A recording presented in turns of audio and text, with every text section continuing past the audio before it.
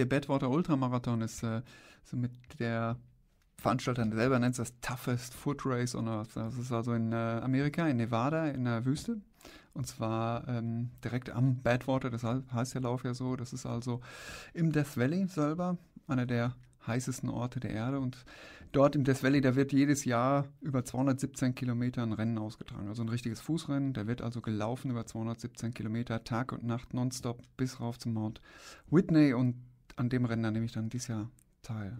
Da bewerben sich jedes Jahr ein paar hundert Leute drauf und letztendlich gibt es aber nur 100 Startplätze. Die werden dann so aufgeteilt, dass wir 40 Anfänger nehmen, 40 sogenannte Rookies, 40 ähm, Wiederholungstäter, also Veteranen und 20 äh, Vollprofis, die dann weltweit verteilt werden, die Startplätze. Und dann äh, macht der Veranstalter ein Ranking, je nachdem, wie die Leute geeignet sind oder je nachdem, wie bestimmte ähm, ja, Länder, Altersklassen und sonst was vertreten sein sollen in dem Jahr.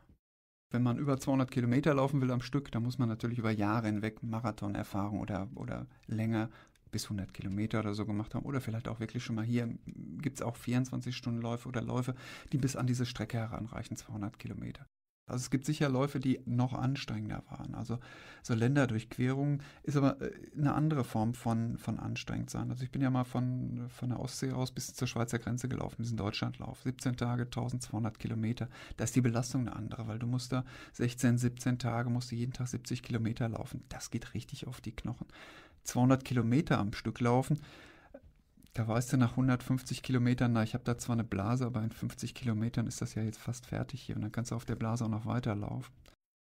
Wie geht man da mit der Hitze um? Also das eine ist, wie gesagt, viel Kühlung durch das eigene Team. Das andere ist ähm, eine, eine, mentale Vorbereitung. Also ich äh, kann jetzt schlecht in der Sauna ein Laufband aufstellen. Und zwar nicht, weil ich das nicht könnte, sondern weil die meisten Saunabetreiber aus versicherungstechnischen Gründen Angst haben, dass ich ihnen da ohnmächtig von, ähm, vom Laufband falle.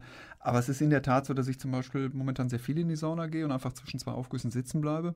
Während des Laufs selber muss man sich halt durch bestimmte Kleidung schützen. Also das ist dann schon so, dass man äh, wie, so ein, wie so ein Astronaut auch sehr langärmelige oder, oder über die Beine äh, hinausragende Kleider tragen muss, richtig Dreiviertel oder sieben Achtelhosen lang.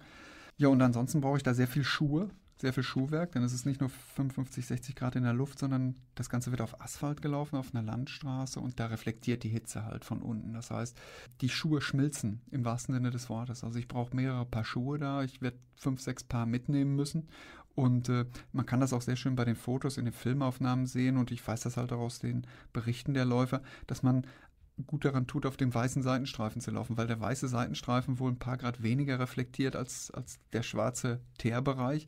Und äh, deshalb sieht das so aus, wie als wenn die Läufer alle an einer Perlenschnur über diesen weißen Streifen durch die Landschaft laufen. Das machen die wirklich, weil es da, was weiß ich, fünf Grad kälter ist drauf.